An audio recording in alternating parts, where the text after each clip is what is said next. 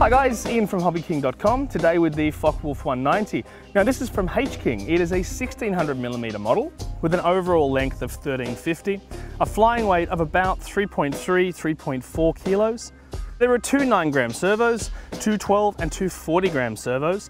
The brushless motor is a 5060 Outrunner, 290 kV, removable battery hatch, ESC 60 amp, Additionally, there's some scale detail like guns, a sliding canopy, it's got metal retractable landing gear and a fuel tank underneath. You'll also notice that it has very large split flaps underneath, which will make for really easy landings. So that model is constructed of EPO foam, it comes in a plug and play format. We recommend a 6S 4000 mAh battery. So that's the spec, let's take it for a fly.